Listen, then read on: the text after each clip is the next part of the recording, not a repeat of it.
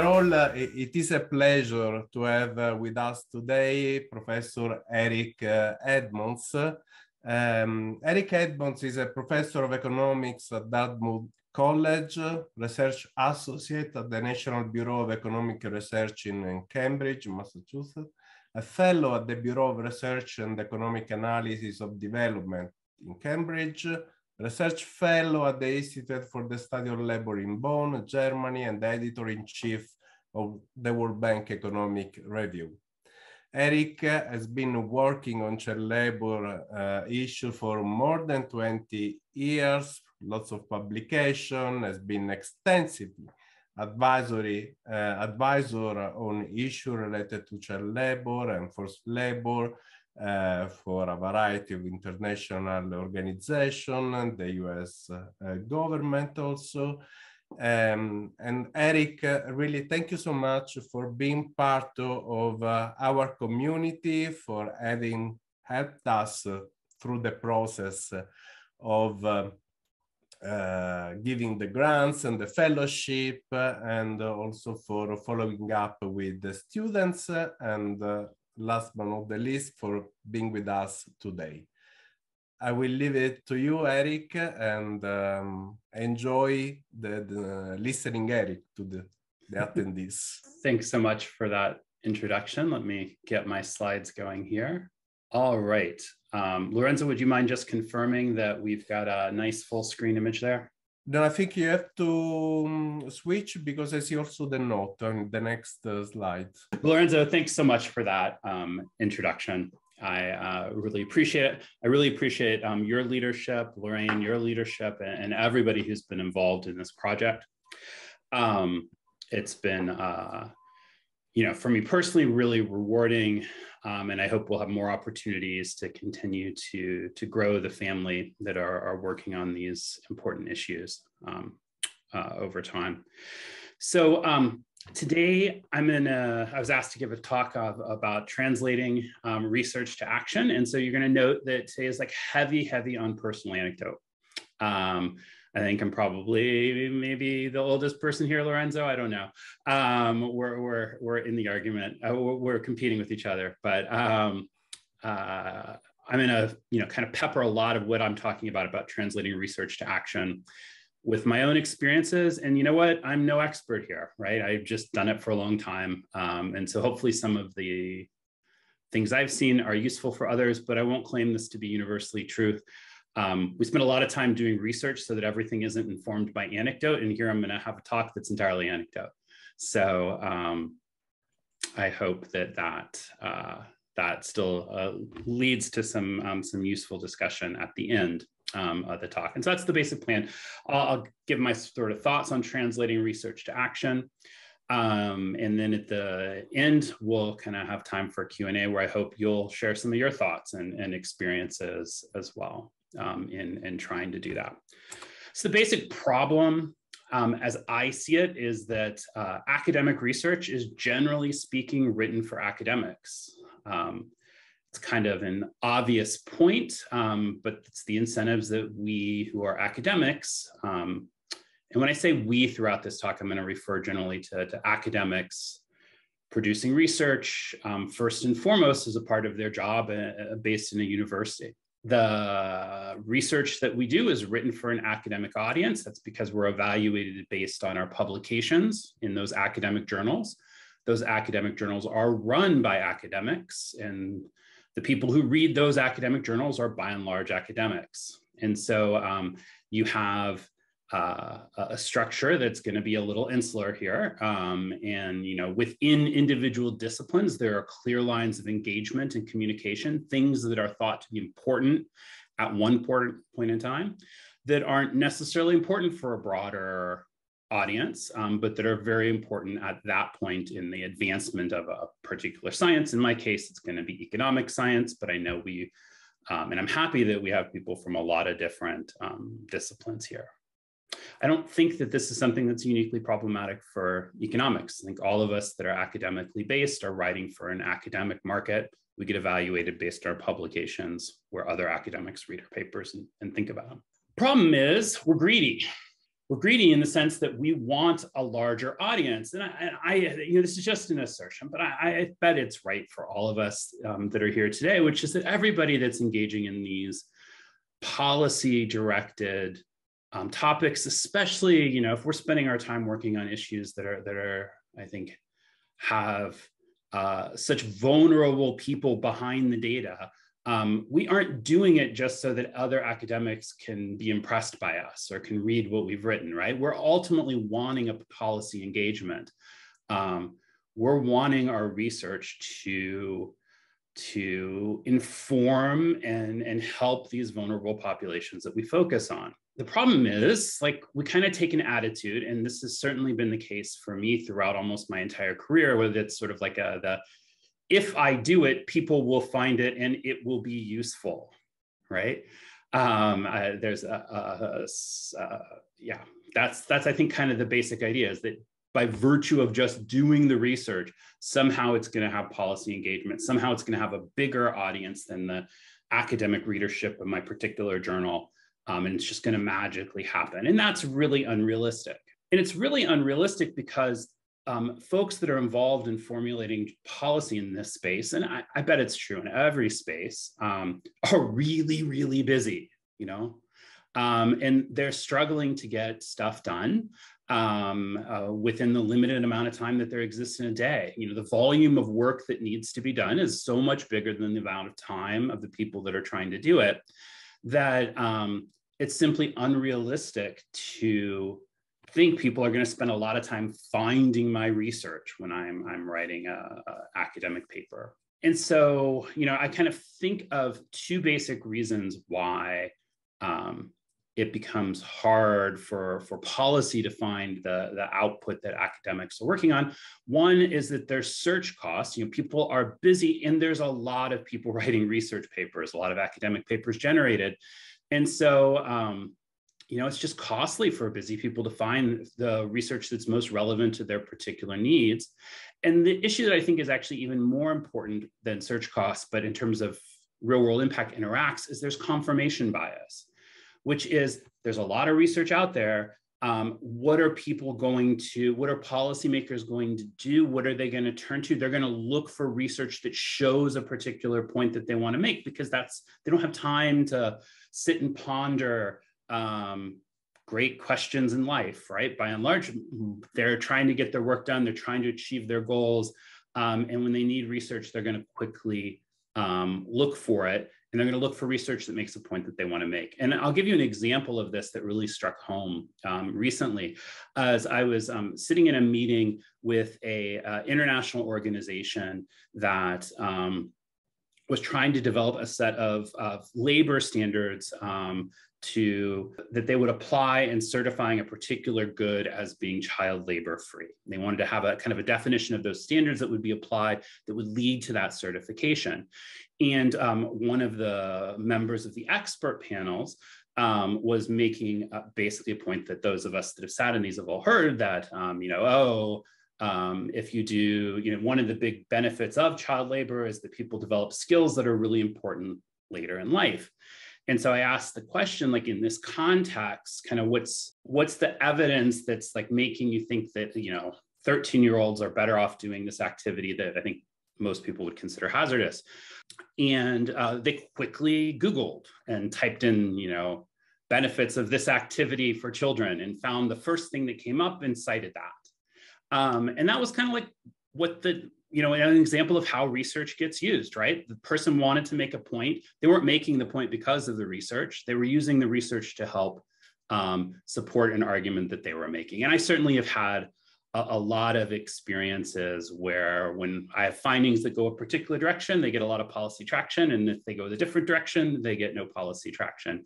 Um, even if they're the exact same findings with just kind of different um, underlying sources of variation that lead to positive or negative outcomes. And so that kind of confirmation bias for consumers of research, uh, I think is really central. And it's in part an artifact that, you know, people are really busy and um, they, they want to use research to support their experiences. And so that from an academic research perspective is really unfortunate because we want we want our research to change people's minds change how they think about problems. And there's kind of a couple of solutions that are really um, commonplace today.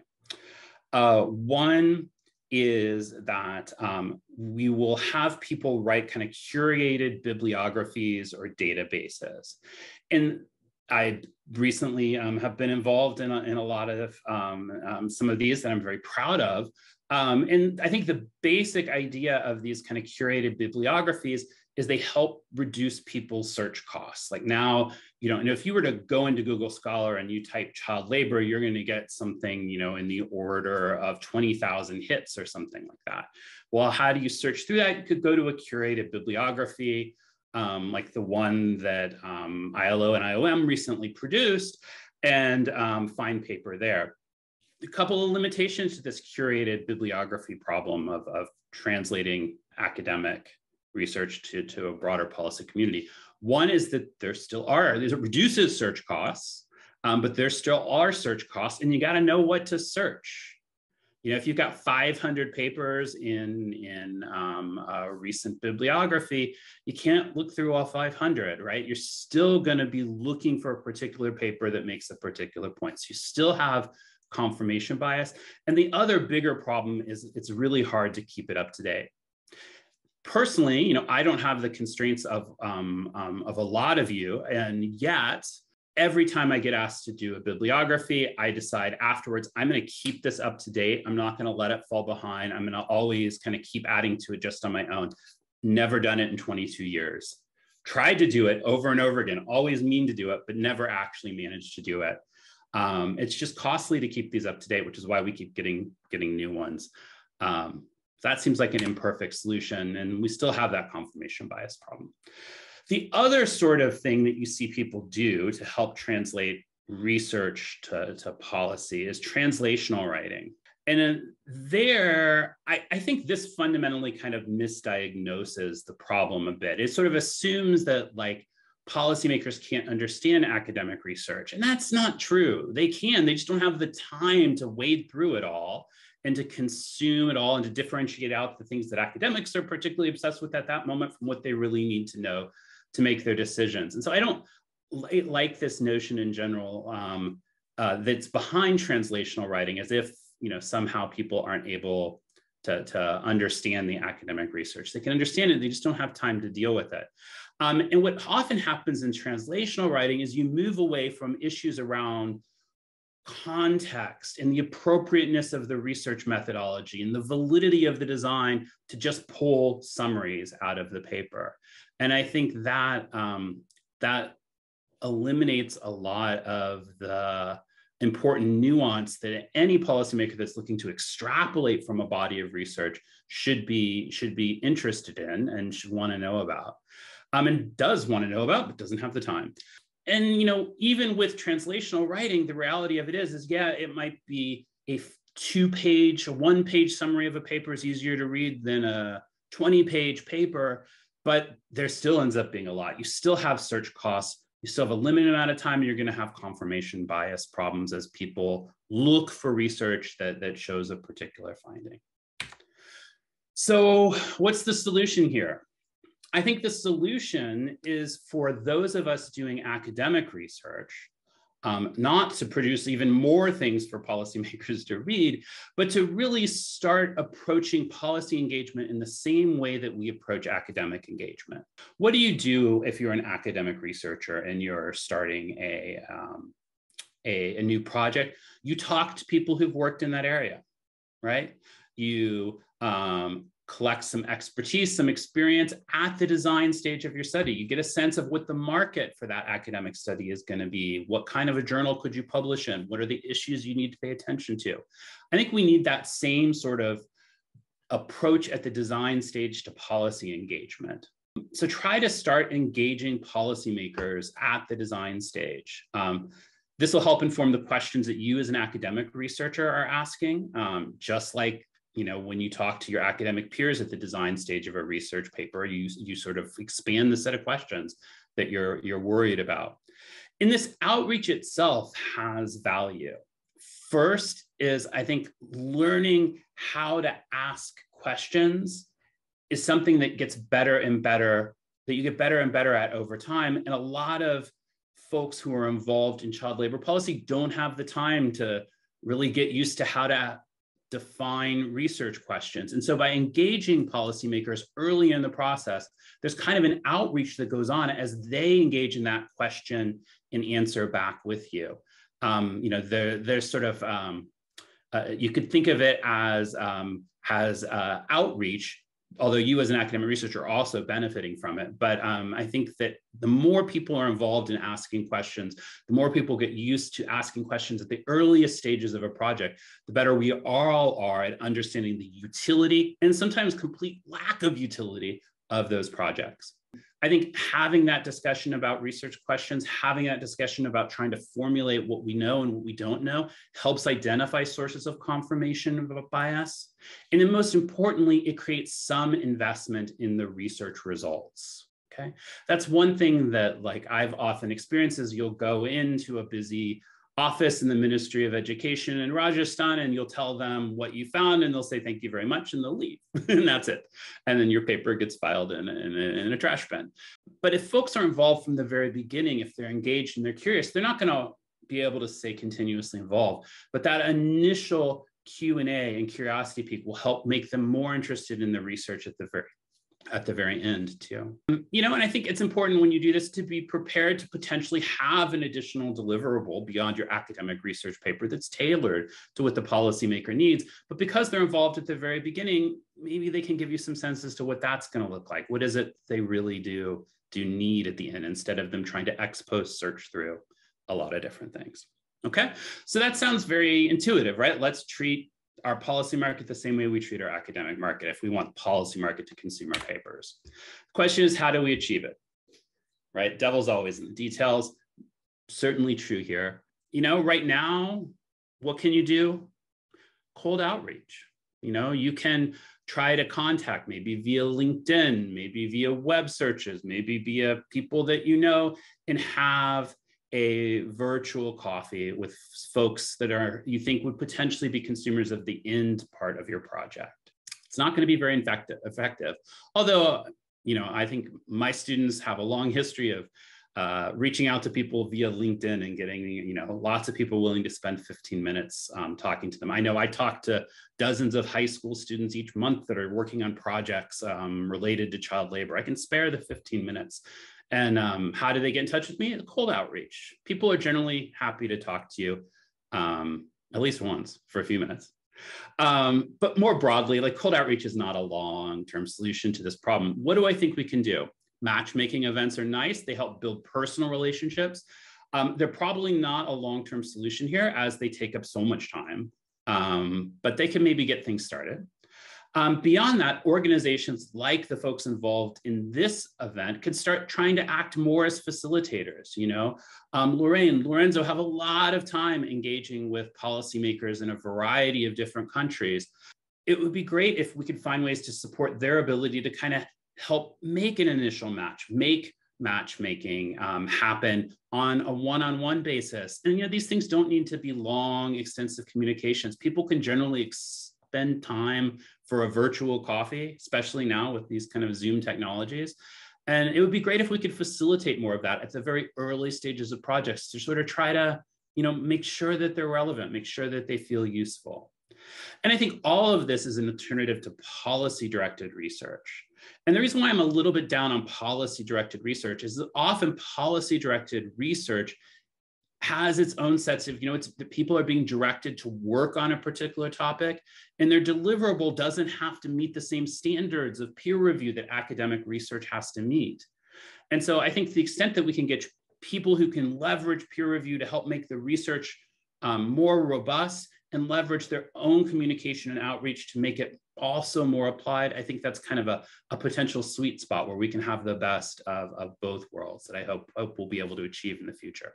Um, so now I have a few kind of reflections on my own um, personal lessons here on policy engagement as we think about like, okay, well, let's say I'm gonna have a virtual coffee. um, with someone. If I'm working on a project in Uganda, maybe I've managed to find someone involved in, in child labor related policy in the Ministry of Labor in Uganda, and I persuaded them to have a, a you know 15 minute virtual coffee with me. What are things that, that are important to know? I think the first thing that's really important to know that I was very surprised in, uh, surprised about in my own experience, is I always thought kind of people who were working in child labor policy would have a strong sense of what are the questions out there that we need to know? What do we not know? But if you think about it, that was an incredibly naive assumption on my part because there's like an infinite set of things that people do not know, right?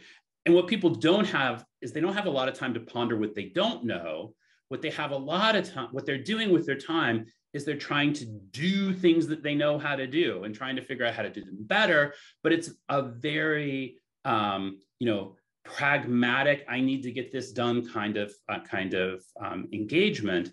And so I think um, from a researcher's perspective, whose job it is to ask questions, um, when you're engaging with policy, I think one of the things you need to do is to help them ask questions and don't assume that they're going to know what the important questions are for you um, that they want answers to. There needs to be kind of a bit of a dialogue to flesh out like what are the assumptions behind what they're doing and what are they doing? What are the priorities there? You know, I've, this theme come, has come up over and over again. Time constraints are super important here. And I think that's really what's behind all this demand for translational work, which I've already mentioned is something I'm not a huge fan in. It doesn't solve this problem.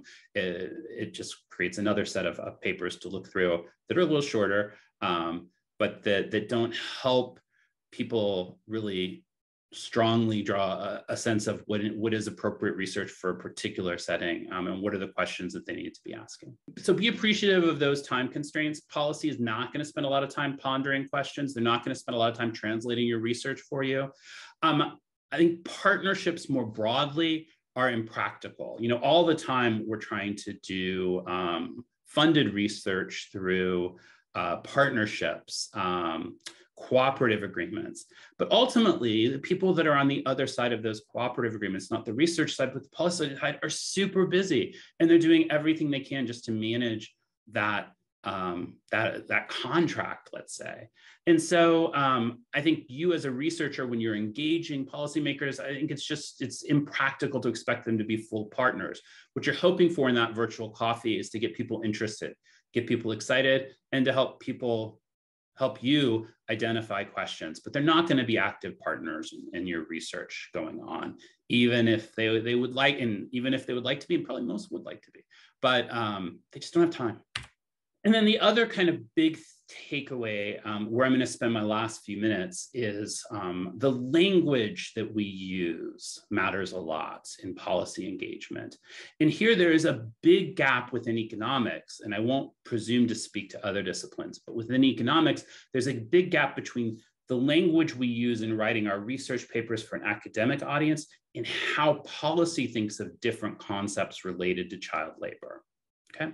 And I want to end with sort of giving you my sense of where we are right now in terms of how can we define the things that we're talking about? How can we use language that will both satisfy an academic audience and translate in a meaningful, not misleading way to policy. Because the second that you know your partner feels that you're being misleading you know that conversation is completely over.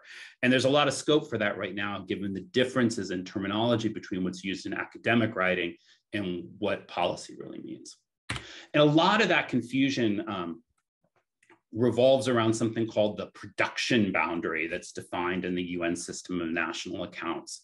Um, and when we start talking about child labor, definitions of what is child labor and what is child, what is not child labor wind up into different concepts of a production boundary.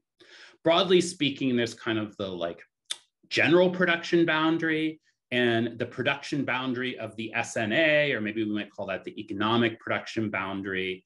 Um, these are distinct in international conventions regarding the definition of child labor, and I find them super confusing. So I want to spend just a minute clarifying the difference between a general production boundary and the production boundary of the SNA. Basically, it all comes down to how you think about own account, and by own, we mean like our family too, our household anyway, where we live. Um, our own account production of household services is treated differently between the two. The general production boundary is kind of like everything you do that translates your time that you're endowed with into goods and services that enter into your own well-being in some way. The production boundary the SNA says, all right, we're not going to include unpaid household services within that concept, but otherwise we'll be more or less the same. Why is there this exclusion of unpaid household services? Um, you know, I think broadly the right thing to do is that there's a there's there's you know a broad sense that like if I'm cooking or cleaning for my household or weeding in my garden, that's not like adding to the economy, right? And so really what they're trying to do in defining these different concepts of the production boundary is exclude from the economic production boundary or the production boundary of the SNA stuff that basically I produce and consume just for myself instantly that doesn't affect the rest of the economy. I think that's the basic goal. Uh, you know, then there's a lot of, you can look at this up on Google if you want, and there's a lot of nuance um, around the, the fact that production and consumption decisions are simultaneous and they're not accruing to other people. That is why they wouldn't ever be included in national accounts. And so therefore that is not in the production boundary of the SNA, okay? It would be in the general production boundary. So I'm using this arcane language because it keeps coming up in all these child labor um, resolutions. And I know myself, when I first listened to this, would read and would just see production boundary. And I didn't know notice initially that, oh, general production boundary is different than production boundary of the SNA. And it's all about the exclusion of house, unpaid household services um, within the production boundary of the SNA. Okay, so some language. Working children, working children, and by the way, I'm drawing in all of this from the um, International Conference of Labor Statisticians um, uh, 18th resolution concerning child labor statistics, because I, you know, I think that's kind of my basic for, for what, what is policy agreed to here. So working children um, relies on that general production boundary.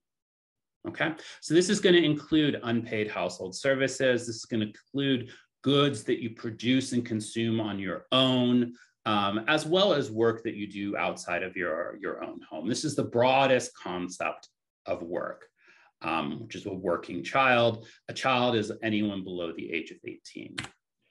Okay, notice the headline on these slides, right? Not all working children are child laborers. So I'm not at this point saying you should be concerned that there is a working child. Maybe you should, maybe you shouldn't. There's no normative um, judgment thrown on that. These are just um, some proposals about language that'll help us better communicate with policy.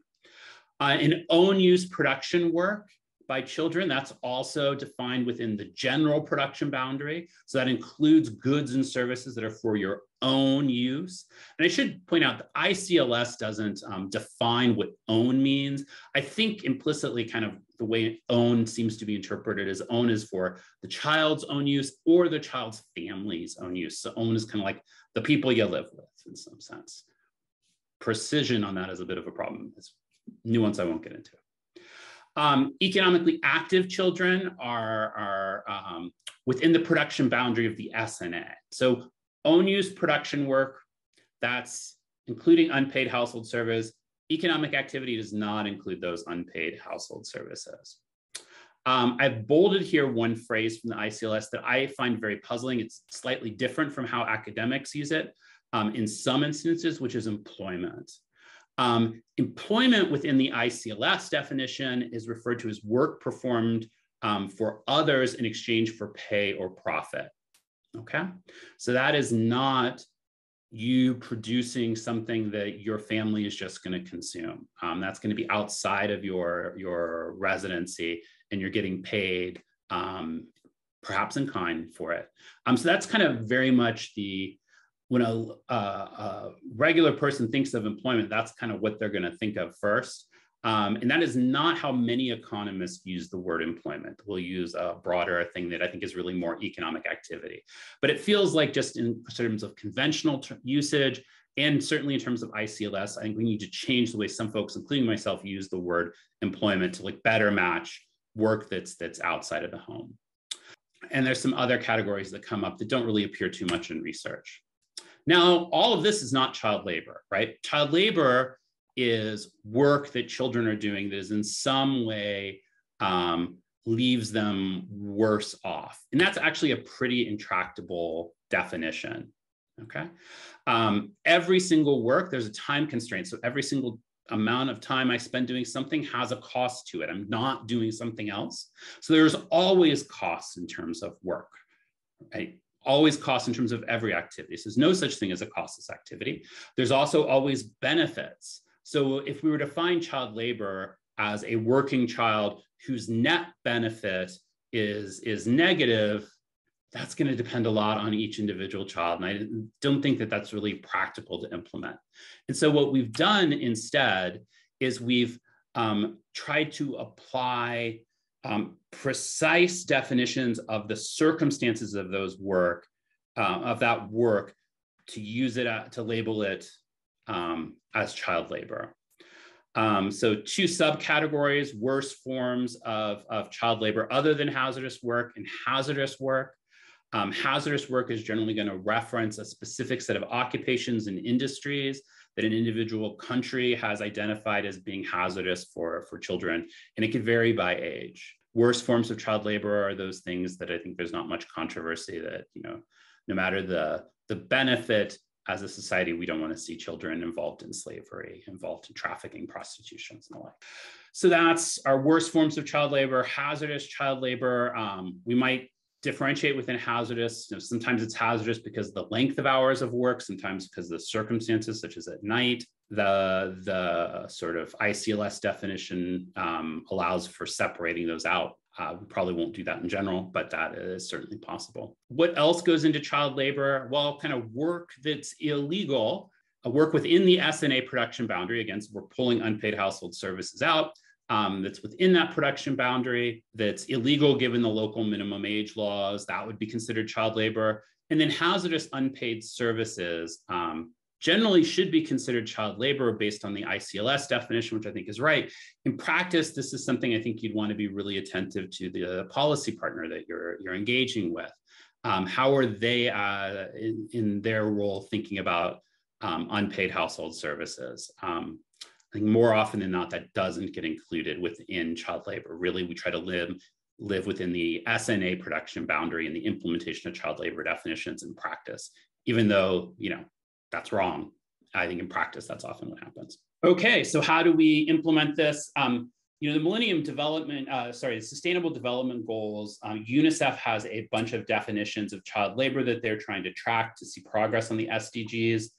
Um, you know, these, I think from a researcher's perspective, are really not very useful because depending on the child's age, which is measured with AIR, um, and the intensity of that work in different circumstances, which is also measured with AIR, we get different definitions as to whether or not you're a child laborer. And I think in a research community, there's just too much fuzziness here for people to, you know, UNICEF has a particular objective here, which is they're trying to track progress on SDGs as researchers, I think that we really can't use these definitions. Um, there's just too much um, discreteness that doesn't make any sense given the underlying models that are generating behaviors. So what should we do? Well, I think uh, if we can't rely on this kind of SDG implementation of child labor, I think what we should try to do is, is use a bunch of concepts that are kind of universally well defined and then have something that's appropriate to the local circumstance where our policy partners are working. So what I'd propose is that we use, as we've defined, working, own use production work, which includes unpaid household services, economic activity, which moves us from that general production boundary to the SNA production boundary, employed, which is work outside of the family um, for pay or profit. And then all of those are going to be broadly comparable across different research settings, they allow us, you know, to the extent that we have the same underlying data, they allow us to kind of compare results of different treatments, how they affect employment rates, on unpaid household service rates, et cetera, But then to make sure that we're translating our research locally, we have a child labor definition that's appropriate to the local context. And by making it appropriate to the local context, taking into account local laws, local hazardous work definitions, et cetera, um, we make it policy relevant, but we make it incomparable. It's why UNICEF can't deal with this in their SDG tracking, but we as researchers um, can, just understanding that that child labor definition is context specific. Um, and I think we can live with that if we've got these other general things that are, are not so context specific, context specific. I think we can do the two. Now, the last kind of thing I want to comment on a little bit, just for us to think about as we've kind of got this terminology we might use to try to translate our research into something that the policy is going to understand um, and that other researchers will understand is does it make sense within own use production work to try to distinguish between unpaid household services and own use economic activity? Are these really things that are that are fundamentally different? If i'm cooking or cleaning in my house is that really different than weeding in my agricultural field? And the answer is i don't know okay um, there's kind of two pieces to how I might make a decision about this. One is like, well, do parents or children feel the same about both kinds of work?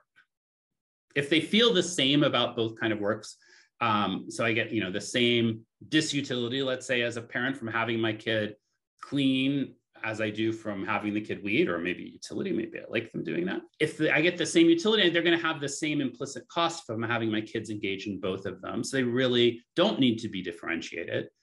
Do parents feel the same about these activities? I'm not actually aware of data where we've asked parents or we've asked kids about different kinds of work and got the sense of like what's more desirable, what's less desirable. I'm certainly aware of some qualitative work around um, evidence around this, but um, in terms of like larger scale, nationally representative data where we get a broad sense of how parents feel. I would love to see that, but I don't, I don't know about that.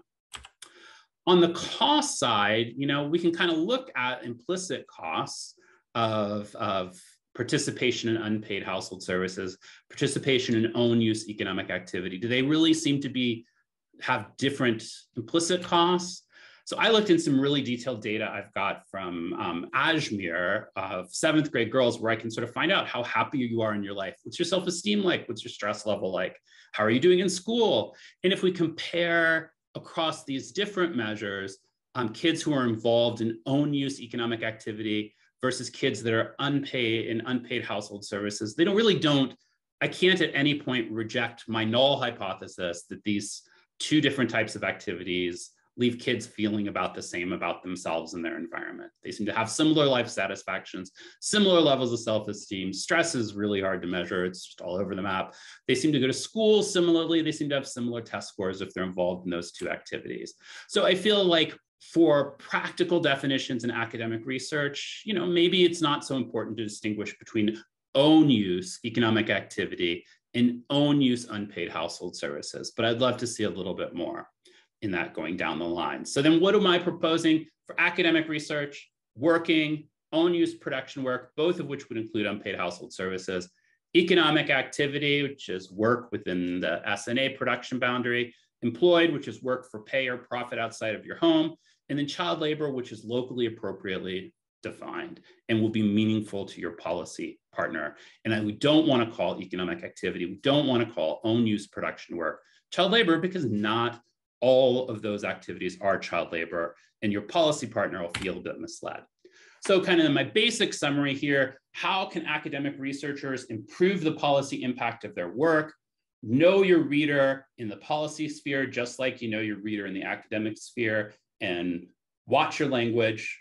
Don't call things child labor to policymaker that are not um, child labor, but do make sure you use words that other academic researchers know exactly what you're talking about, know exactly what you mean when you see, um, um, when they see your research.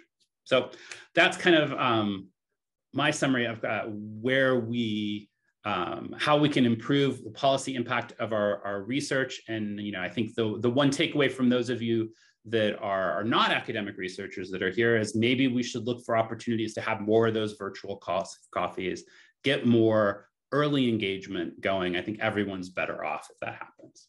Lorenzo, there's one um, in the Q&A, I can see someone has um, uh, posed a question about um, Western bias. I mean, yeah, I mean, look at the membership, look, look at the attendees.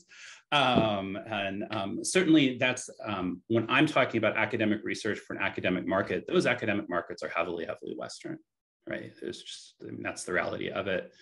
Um, and I think, but when we think about policy engagement, really what we want to be doing as researchers is be engaging people around the world. And I think that those, to the extent that we can start making those, those coffees, those virtual coffees happen, um, I think, you know, within the structures that are there, we can we can help make some improvements in that dimension. Um, uh, you know, I, I, guess I'm a bit more of an incrementalist um, than than a revolutionary in, in, that way, but I think it's an easy increment um, that can help start broadening things and, and, doesn't, you know, rely on radical changes to existing uh, existing regimes. Um, Lorenzo, we've got some raised hands. Do you want to moderate that or do you want me to? Yes. You'll do it? Okay. So, um, Ali, let's go. Yeah, just turn on your mic and um, the question. Uh, yes, um, this is Ali Sidibe from Freetown, Sierra Leone. Uh, I think the I would like the professor to develop questionnaire to develop questionnaires on, on baseline survey on child trafficking and child labor, child labor. Yeah, if I if I could use the opportunity to um, just highlight a, another project that I know Lorenzo is leading, um, which is to improve um, and, and, develop uh, our capacity to ask questions around child labor and forced labor and develop a set of standards around those questionnaires, um, et cetera. Um, I'm really excited um, to see how that continues to progress. Yes, let, let me um, come in. Now I can put in the chat a link uh, to the um, questionnaire that is on child labor that has been uh, uh, changed a little bit also to answer to the latest uh, ICLS, improved to collect more information that can be useful also for uh, uh producing research useful for policy making. Um, we have, again, through an international advisory board, and Eric was, was part of all this process, uh, we we produced these two different questionnaire, but this is not the end. So because of, uh, there are many requests also from uh, the academia, the research side and the policymaker from the other side uh, on how we can look at different aspects, such as labor, but this apply to forced labor, to trafficking, etc. So questionnaire are always uh, uh, being, uh, are always under uh, development. So let me put for you this um, the link there in the chat so that you can see. And let's go to the next question. Uh, Ollie, Ollie, please. Hi, um, this is Holly Kugler. Um, I'm a PhD student at Johns Hopkins, and I'm also a researcher at ICF, which is a government contractor. So I sort of bridge this um, academic and policy research. I do both sides.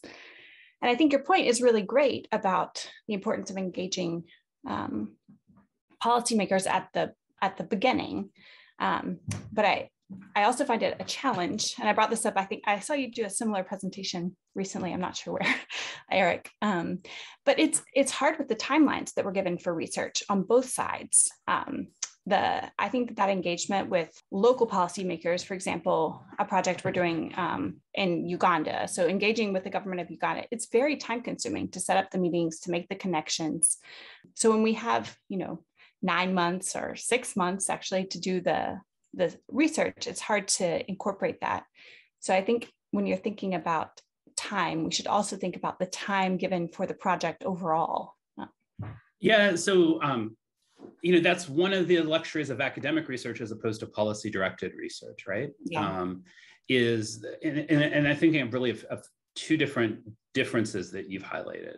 One is that you know the standard for engagement that i'm that i'm encouraging here is like a virtual coffee. It's not you know when you're doing policy directed research you have an engagement report you're writing. There's going to be lots of meetings in country things like that that are all required as a part of your contract. It will vary based on your contract. Um, but um, academic research doesn't have those obligations, right? Um, we're more flexible. We also, we're slower. Yeah. Um, we don't have those same time constraints. And so we can reach out and have a virtual coffee at the beginning of our research project, which we do all the time with our academic research. I never write a paper. I don't begin progressing on a paper until I've talked to you know five or six people that have been active in that area that'll have some ideas and have some expertise we're doing that already. We can afford the 15 minutes to talk to, you know, if this is a, a project in Guatemala, to, to, try to talk to somebody who's in the labor ministry in Guatemala. Like, mm-hmm. we can do that. I don't think it's I don't think it's really such a burden. I think the sort of reporting issues related to policy directed research are in part like why it's really hard to do policy directed research in a way that's um, not heavily heavily engaged dealing with problems of confirmation bias and so on. Mm-hmm. I, I, I, do not disagree with anything that you just said on that regard. Yeah. yeah.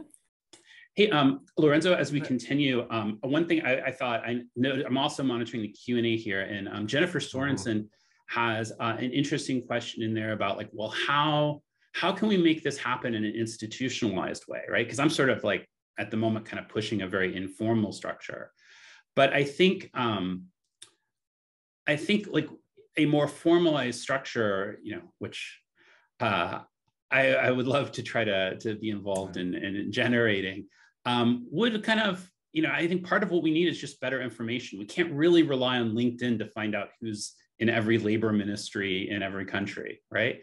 Um, whereas, you know, ILO, uh, UNICEF, um, variety of different bilateral um, and, um, and, country agencies do kind of have a lot of information um, as to who they engage with.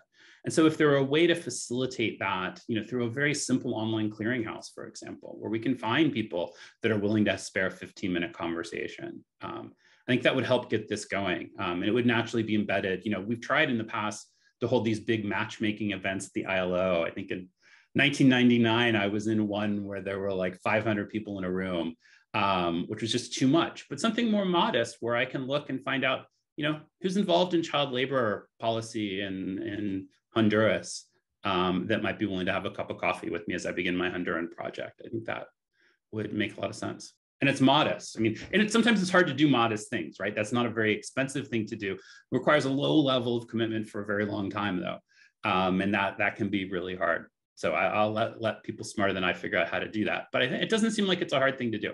Um, Eric, uh, to add on this, this is really a good point. Uh, I don't know also if this uh, can help, but from our experience in developing the research agenda at country level. So bringing together uh, um, representative from the academia, uh, from the Ministry of Labor Education, so from government, uh, practitioner, from international organization, few people, but staying together and talking and going through and see which are the issue of the country in that case uh, and what is needed, what which are the needs of the policymaker in terms of research, which are also the needs of the academia while producing research, and how they can help in producing research, and how the international community also can help.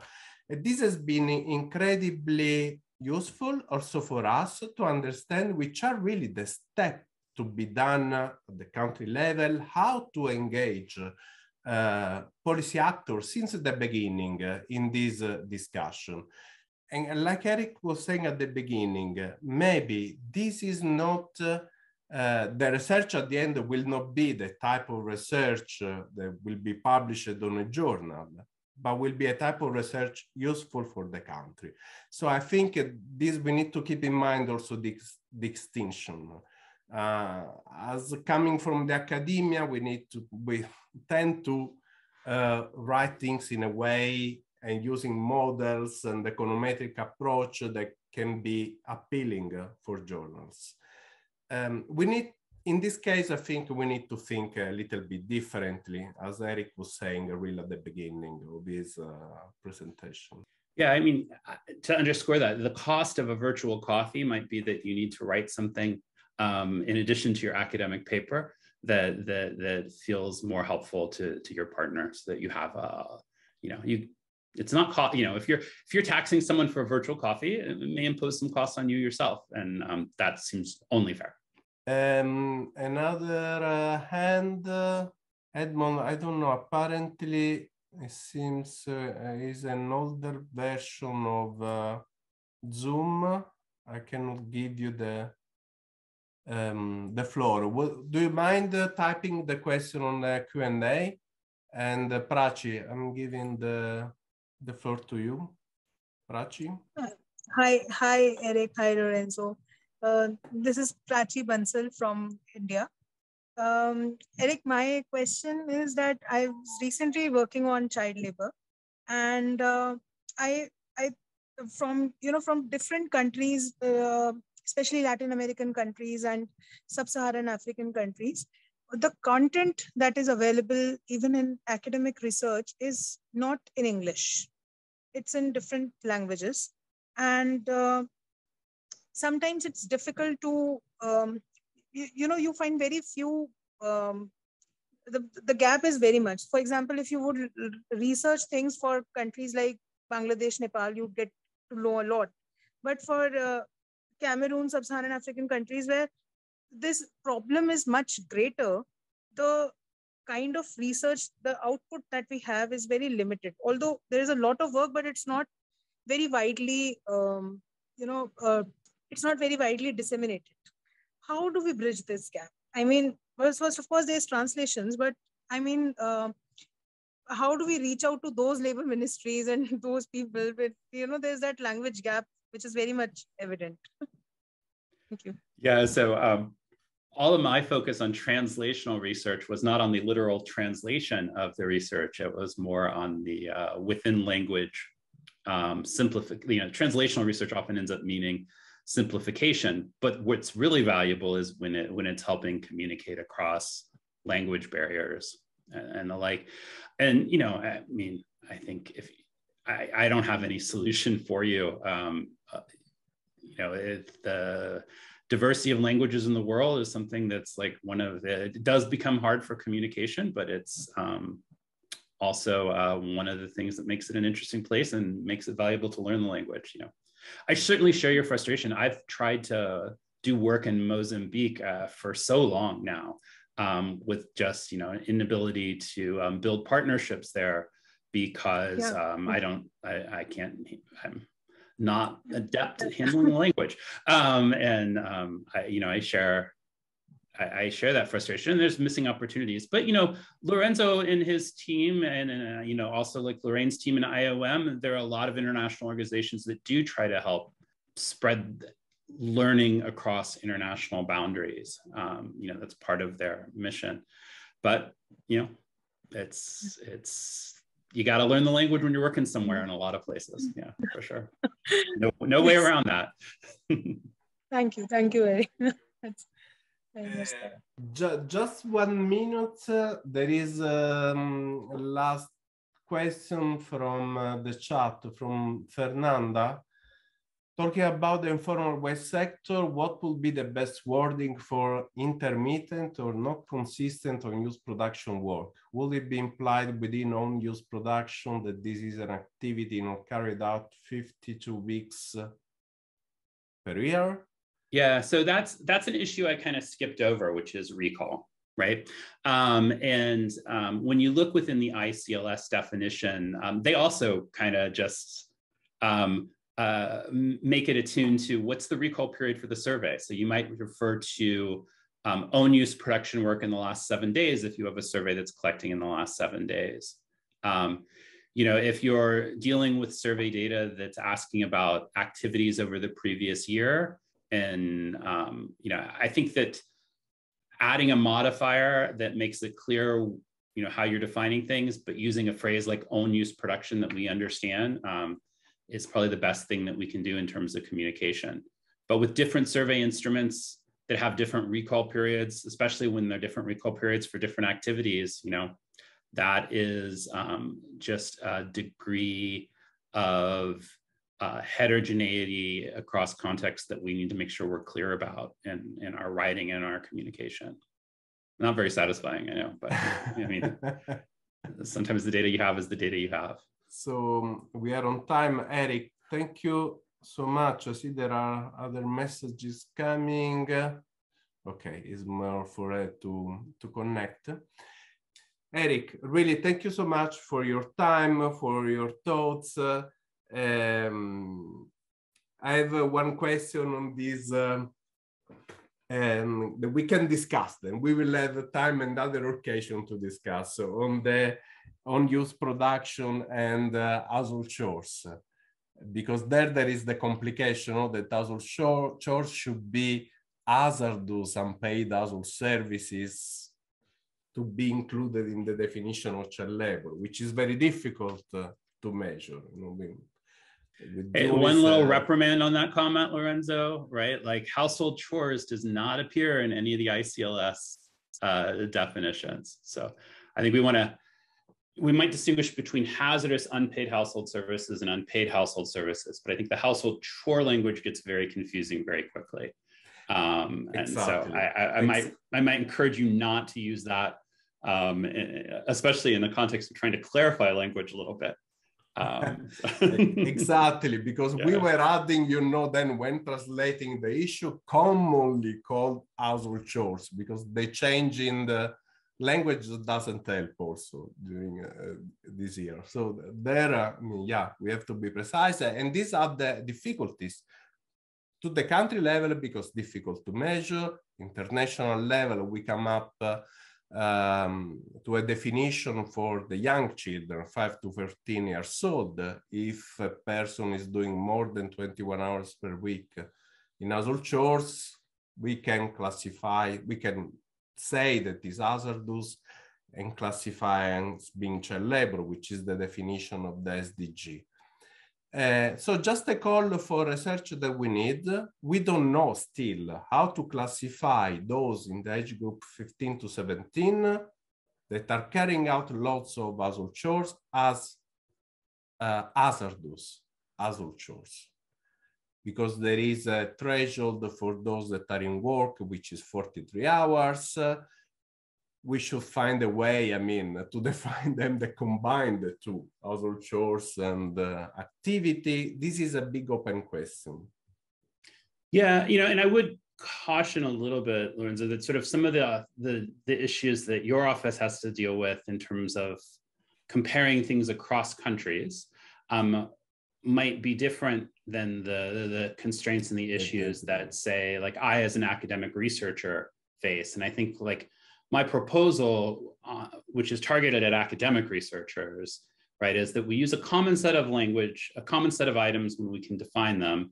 And then we have child labor that's locally appropriate to the context for our policy partners. And more often than not, Lorenzo, as you know, like unpaid household services will probably not be included within what a labor ministry views child labor as being for its given country. And I think like for someone like you who's tasked with the mission of creating cross-country comparisons, um, that creates one problem. For a researcher um, who's trying to build a relationship, I think it's more important um, that we produce research that's valuable in that context yeah. Um, for that child labor definition. And then we've got the other categories that are suitable for cross-country comparison. But you know, you got to be attentive to your policy market. Um, and unfortunately, though unpaid household services absolutely should be within a definition of child labor um, in most countries in the world it seems like it's not yeah hey yeah. um i noticed within the chat as we're winding down here there are a ton of people that are like asking for communication information and things like that um, you know, for me personally, I'm really easy to Google Eric Edmonds, Dartmouth College. You're going to find my website and my email address and all that. But is there going to be a broader like conference participant list that's sent out or anything like that? I don't know. we can um, after the conference we can see whether if everyone agree which are the details we can make public um, yeah but folks who are trying to contact me you know yeah. Eric edmonds dartmouth college i'm it. That's all there is. Let's see.